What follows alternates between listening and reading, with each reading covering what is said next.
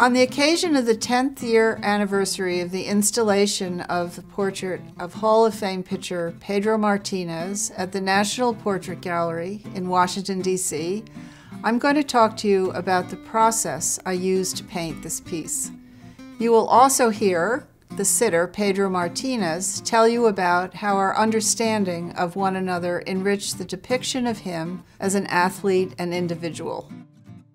As a result of this generous gift by Gloria and Peter Gammons, the number of Hispanic visitors increased, and then a curator of Hispanic art was appointed. The acceptance of this portrait was a huge step towards the diversity that the Smithsonian's Portrait Gallery seeks. Sometimes portrait viewers are introduced to a painting by a label that tells who the person is and perhaps why they were painted, along with the medium that the piece is made of water, oil, and encaustic, etc. In these paintings of Representative Alice Wolf and Dean Jerry Murphy, they are both very recognizable people locally in Cambridge, Massachusetts. Not everyone cares how or why an artist made decisions in the process, just as long as the viewer enjoys the painting. For those who are curious about the making of art, I'm going to talk about the process. Susan, this is a very nice painting. How did you paint that? I should mention that because of my background in psychology, my approach to painting people is a bit different than traditional portrait painting, where the sitter sits for hours and the artist, out of necessity, stares at them. In my experience, I learn more about a person by getting to know them in a variety of venues and by observing their emotional and physical tendencies. Here you can see pictures of myself and Pedro Martinez, Alice Wolf and myself, and Dean Murphy, people who I got to know over the year's time that I painted each of these portraits. From Leonardo through Pollock, many artists have been inspired by music while they paint. Written on the back of this piece are Bocelli's Sogno, Santana's Supernatural, the Buena Vista Social Club, B.B. King, Riding with the King, opera, Latin, American, jazz, rock and roll, the blues. The beginning of this has to do with what kind of support you're going to build your painting on. The Egyptians painted on wood panels, as did the Italians until the 14th century.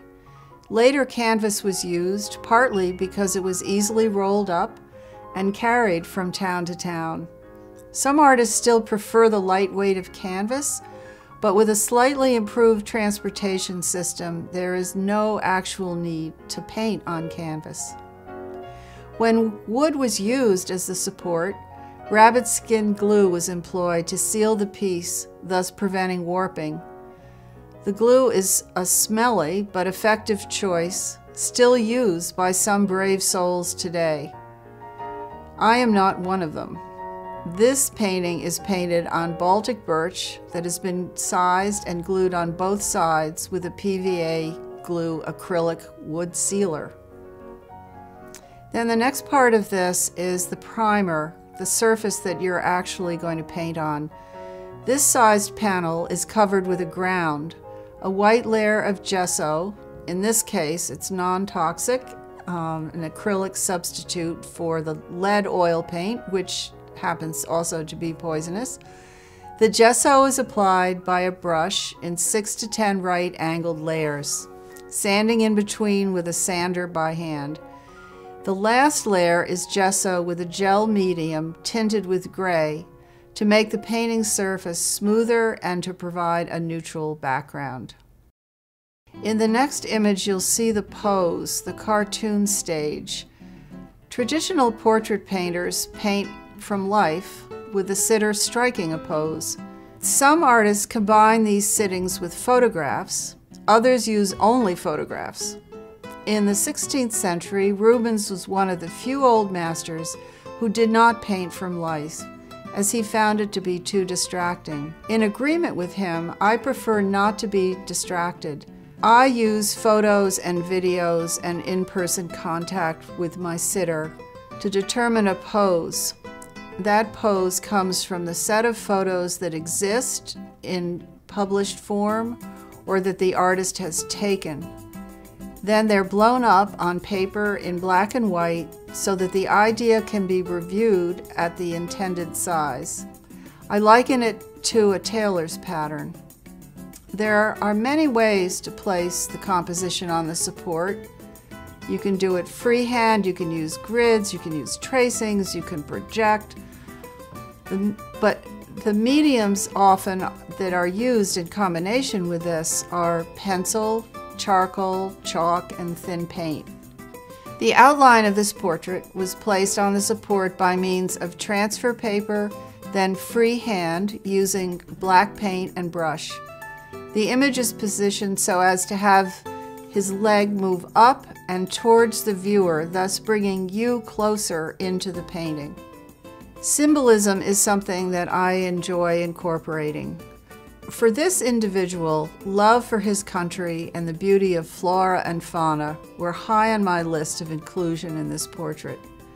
I switched out the Baseball League patch for the Dominican flag and buried native flowers underneath the mound, which I think you can see in these images where the flag is and the flowers are under the mound. They would later be painted over.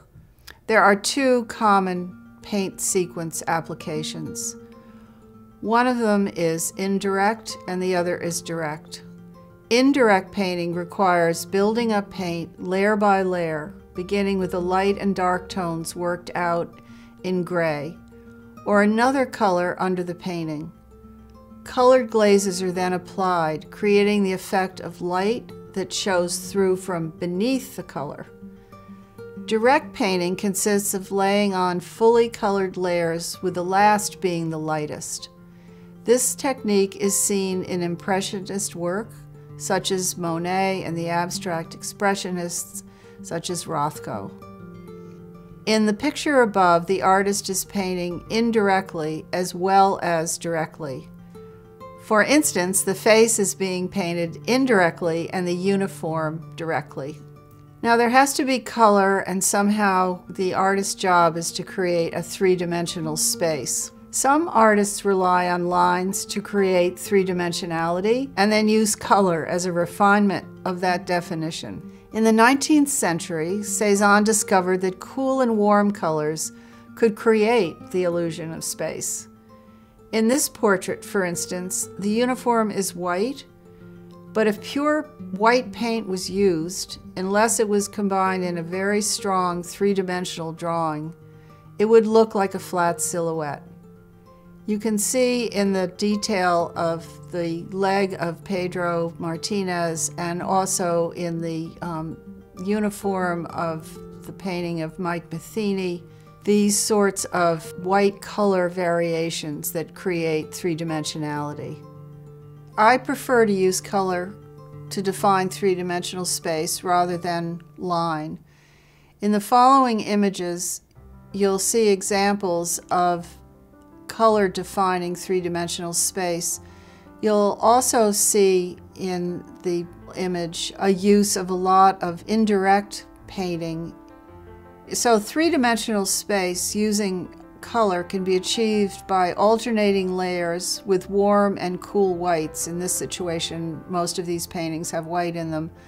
In this case, the uniform paint actually contains layers of blues, reds, purple, and white. These are both warm blues and cool blues. A portrait is intended to look like the person. If there's no harmony between form and color, the painting will seem flat without life. Some artists follow a method that entails painting the flesh, then the clothing and the background. Others, such as I, find painting all over the picture a way to keep every aspect in harmony. Not unlike writing music, too much bass and not enough treble throws the melody off. One of the wonderful things that was discovered by someone who wrote about painting portraits was the idea of tricking your brain. When painting large amounts of color, such as this white, it helps to trick the brain by turning the painting upside down or sideways. This reorients the brain for a few moments and breaks up the tension that arises after painting the piece in one direction. I think you see that here up on my easel. The next problem for a lot of portrait artists, including myself, have to do with hands and also sometimes skin. Hands do present a particular challenge because they're almost as large as our faces. So that means they can compete with other more important elements of the painting. From a color and form point of view, palms are relatively flat without rich colors and veins like the other side of the hands. Too much flesh tone yields what this artist calls the Barbie doll skin problem. Too little renders the image anemic. It's all a balancing act, painting layers and layers, blending and blending.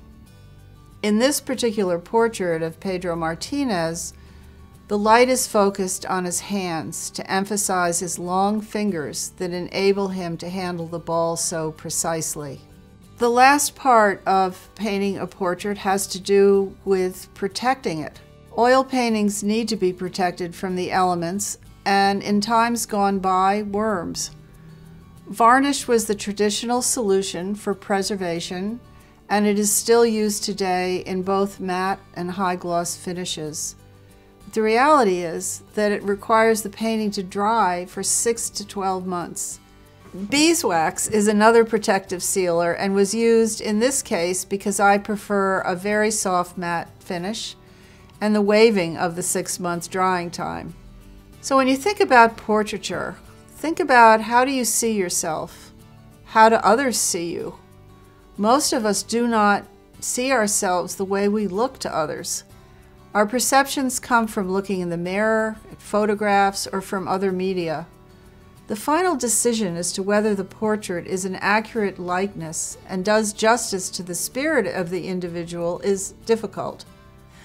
A challenge for the artist is to create a likeness of an individual while at the same time saying something about their character. My goal is to make a portrait vital, human, convincing, and timeless. This means capturing the essence of the person at a moment in time, attempting to reveal some of what has gone before in their life, and finally combining the two on a one dimensional plane. This is a portrait of you in the yes. National Gallery of Art in Washington, D.C., part of the Smithsonian Collection, which is a real honor. There's only a couple sports figures at all in the National Portrait Gallery. You are one of them. This is a local artist who you know, Susan Miller Havens, who's a friend of yours. She's from Cambridge. How did this come to be? It's a spectacular portrait, I have to say, full body.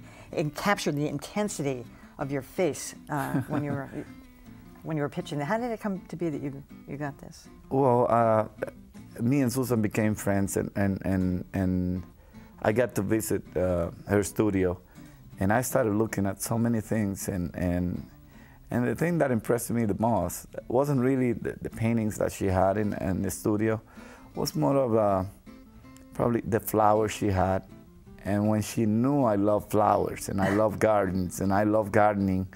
Uh, she she right away identified herself with me because she loves flowers, she loves gardening, she loves that's how she gets relaxed. She loves music too, different kinds of music.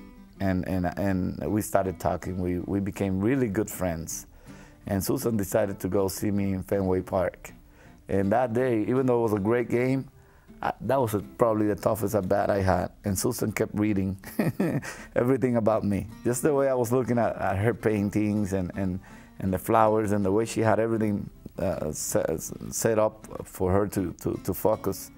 Um, the same way she saw everything in me when I was pitching. And she decided to paint it. Little did we know that, that, that, that the, the portrait was going to be uh, you know, in National Portrait Gallery, that, that we were going to go so far with it. But Susan just wanted to paint a, a, a real image mm -hmm. of the person she knew. Uh, uh, you know, the, the gestures that I had in my hands, what I wanted to say, an impression I have in my face, and she did a, a, an unbelievable job. Ten years ago, I painted a series of portraits of whom I felt were exceptional individuals. I had no idea that this portrait would bring as many new visitors into the museum as it has. Degas instructed his students, it's not what you see, it's what you can make others see. I hope that by explaining the process that I use, I've deepened your understanding of the making of portraits.